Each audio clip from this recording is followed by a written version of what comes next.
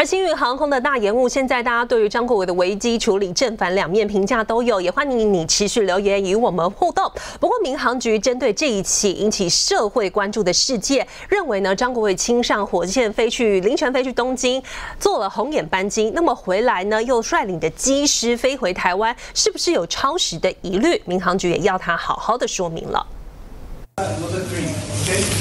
新宇开航以来最大危机，三百零二人滞留机场，睡睡袋打地铺，起因成田怪风让一班次延误，但却演变航班大乱。JX 八百晚到七小时，让要用同一架飞机回程的 JX 八零一跟着 delay，最后并班到 JX 八零三，但这架飞机又发生指示灯显示异常，乘客困机上，但明知有宵禁不能飞，却不早让人下机住宿。机组员超时，紧急从台北安排两名机师搭机赶往东京，执行后续返台飞航任务，但乘客也因此在飞机上等换班。话他是两个组员打呃飞台北东京，那同时再由东京飞回台北。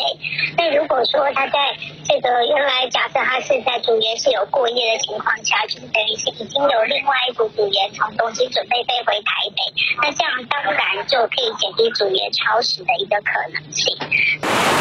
乘客也不满，一开始地勤没解释原因，连水或食物都没提供，告知随时可能飞，大家不敢去觅食，睡机场后还得自己买早餐，加上当地没签约空厨，出状况无法在外站供应餐盒。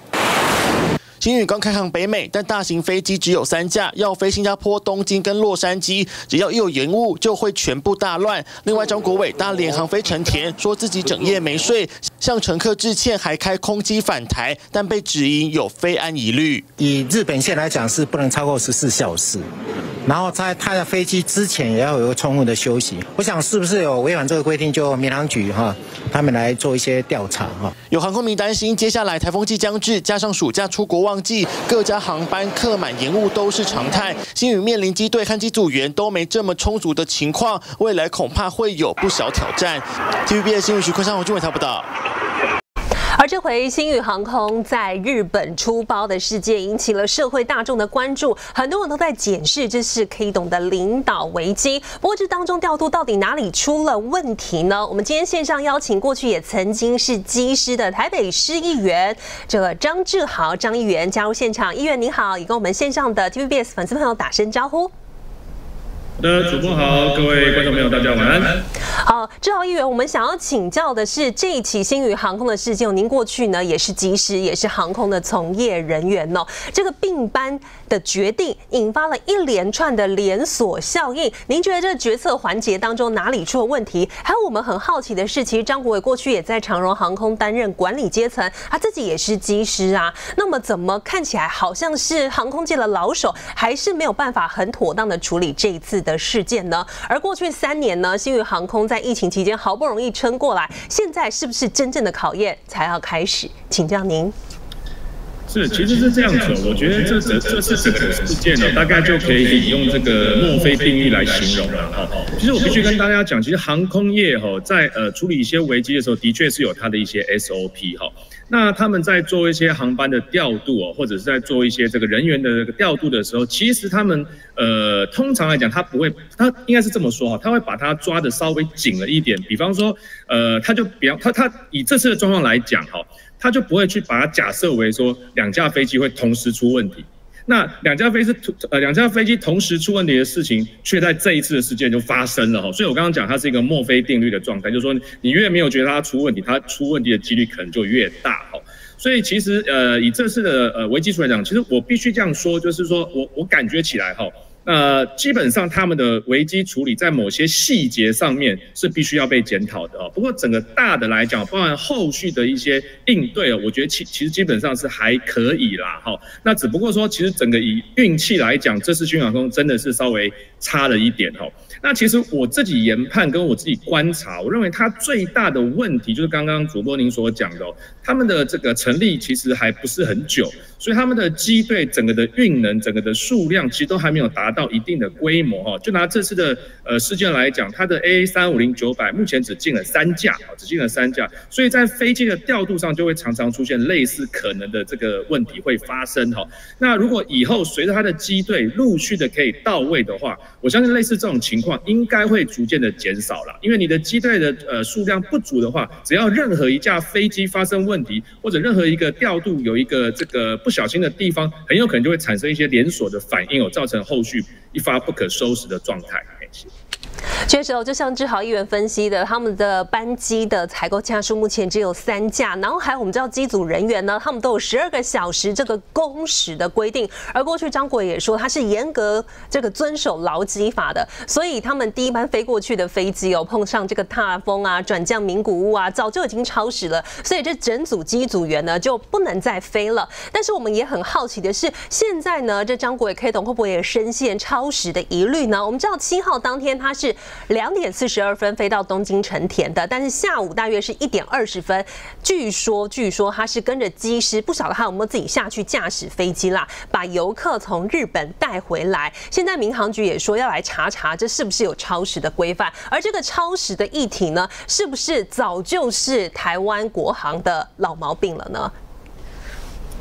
其实哈，在这个过去，我所谓的过去，可能是在我加入华航之前呢，因为我加入华航到现在，到我离开大概有二十多年哈，在过去。的确没有错，曾经会听到一些这个超时的状况，在那个时候的监督与法规其实都不完善哈。那不过在最近几年开始，呃，我相信我们台湾的这个民航法规，尤其是对这个机组员超时的状况，或者是非时休时的规定，其实都已经有个非常非常明确的法规在那边。所以你现在要故意去违反它，其实我想大家都不太敢哈。那以这一次这个张董事长的状况，其实我觉得早上我曾经有分析过了哈，就是说，呃，我们的确有规定，飞行人员在执行飞行呃飞行勤务之前，必须有一个非常足够的休息哦。但是呃，因为张国伟是以他是以董事长的身份哈，然后他是坐飞机到东京成田去处理事情，我不知道这样的定义是否会符合我们在法规上的定义，因为通常我们是说你在飞行之前的休息当中，你不可以有其他的飞行任务。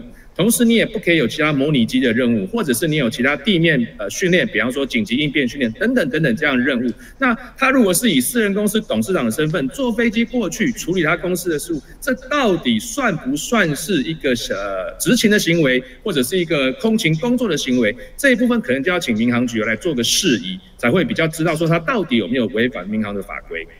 确实，那还想请教志豪议员的是，我们可以看到这个机组员也是因为延误，所以导致了超时。那我们也想问的是，哎，为什么新宇航空会选择在这种很容易超时的，尤其台北飞东京，他们从准备到飞到当地单趟就要六个小时，那一有延误就很容易超时的情况之下，新宇为什么还是决策只派一组机员先飞过去呢？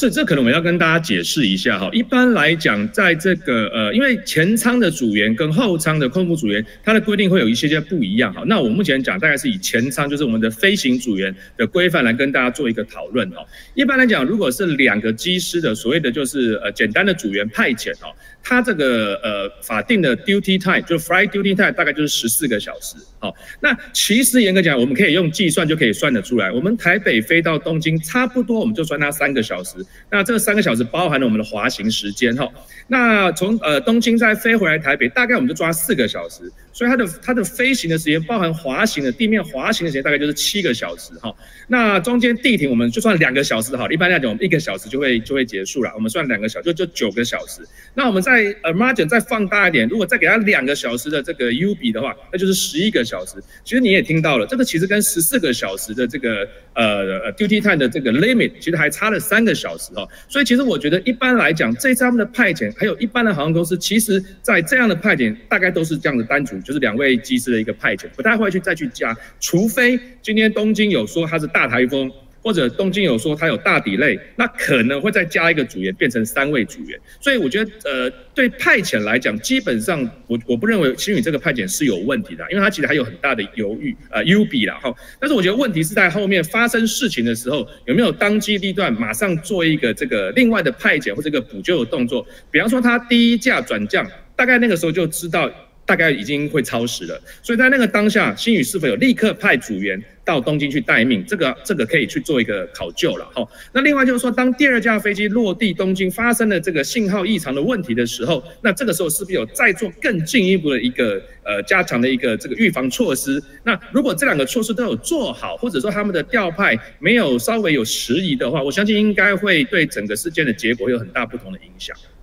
确实，就像志豪议员说了，这个魔鬼就藏在细节里头。当碰上不可预期的情况时，你的组员他能够备勤的时间一分一秒在流失的时候，是否能够及时的做好风险把控呢？这都考验航空公司的管理智慧了。我们谢谢志豪议员跟我们分享这个航空业界里面的专业门道，谢谢您。谢谢。再来，我们要带观众朋友来看到的，就是究竟当天成田机场的风大的有多可怕，而这个侧切的风如何危害到飞机的起降？当天已经有直击怪风的现场画面曝光了。就是这架新宇航空 JX 八百客机，日本当地航空迷拍下飞机下降时左摇右晃，因为侧风太强劲，机长放弃，机头拉高，飞机还像是空中落叶般，看得让人心惊。机上乘客也是余悸犹存。在第三次的时候降不下来，他又转出去了，他又转出去，我们整个飞机的人都已经快要哭出来了。到第四次的时候，它又那种完全是那种好像飞机要解体的那种感觉。JX 八百连续两次无法成功降落成田机场，改先降名古屋。到了晚上六点，又再次飞往成田，花了两次才又成功降落。机上乘客直呼这根本是在搭云霄飞车。后续也引发合并班机机组员超时，成田机场宵禁，旅客被迫滞留当地的状况。受影响的 JX 八零一和八零三旅客怒气都发在地勤和空服员身上。我不是要凶你们，你叫主管出来处理。已经半个小时了，一个主管没办法出来处理。你不要再这样态度对我们的主管。我刚刚有跟他讲，我没有对他凶啊。我刚刚在厕所都有听到。你你问小姐，我好对她凶吗？还好最后在其他乘客和机组员的劝阻之下，才结束争执。只是空服员职业工会表示，不只是旅客，这一整个过程，机上的机组人员也是受害者。希望跟旅客还有跟大众可以理解说，因为其实空服人他也是一起被困在机上的人，这个航班调度和人力调度的问题，其实都不是空服员造成的。但我们其实觉得他其实不只要跟旅客道歉，他他也应该为他这个决策，同时造成旅客跟那个空服员之间彼此张力很大，他也应该要跟员工道歉。另外有华航林依晨之称的前空姐赵小薇，刚好当天是受害的乘客，她搭乘的就是滞留在日本的 JX 八零三航班。她也在 IG 上分享受困情况，在机场直接铺睡袋睡觉，虽然百般无奈，但还好最后都是平安回到台湾。TVB 顺庄启源、钟永轩台北、东京采访报道。TVBS 新闻直播回到 YouTube 频道了，提醒您每周一到周五的晚间七点到九点，由新化主播为各位新闻划重点，记得一定要来参加直播。